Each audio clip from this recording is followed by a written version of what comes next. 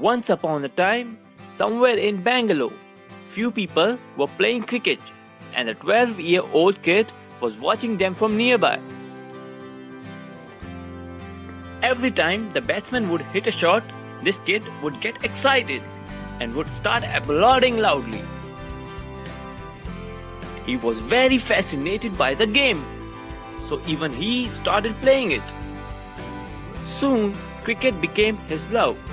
He had decided to become a professional cricket player. And when you're so positive, who can stop you? He represented his state in all the levels under 15, under 17, and under 19. Soon, he was selected for Ranji Trophy 2, where he shined brightly. Team India selectors soon took a notice of him and he was asked to play for the country. This was a big opportunity and Rahul was positive about his capabilities in Test cricket. He was unprepared for the ODIs. And when he joined the team, the ODIs were the new phenomena and became very popular. So he really struggled with it. Rahul was even dropped from the ODI team due to his inability to perform. But Rahul was determined to do better and get back in the game.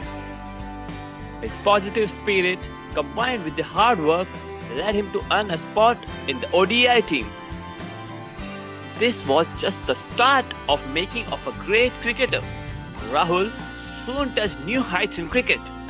He played outstandingly well in the 1999 World Cup and later on went on to become the captain of the Indian cricket team.